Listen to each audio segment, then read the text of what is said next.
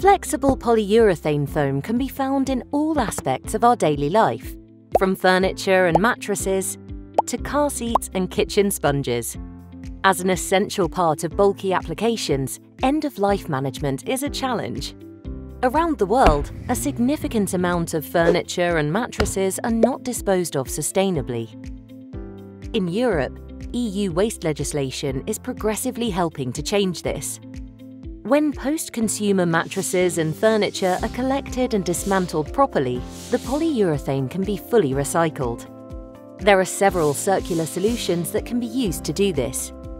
One way is mechanical recycling, where the foam is collected, shredded and transformed into reusable materials, such as rebonded foam.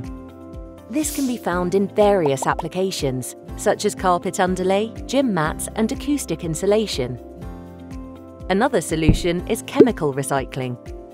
This involves breaking down the foam into its constituent chemical raw materials, which can be used again to make fresh foam. Recycled polyols, one of the building blocks of PU foam, are already in use today.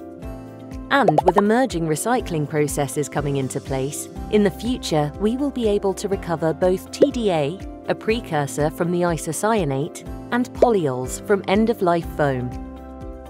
From the producers and consumers to waste management companies and recyclers, everyone in the value chain needs to do their part so that we can achieve full circularity in the flexible polyurethane foam industry.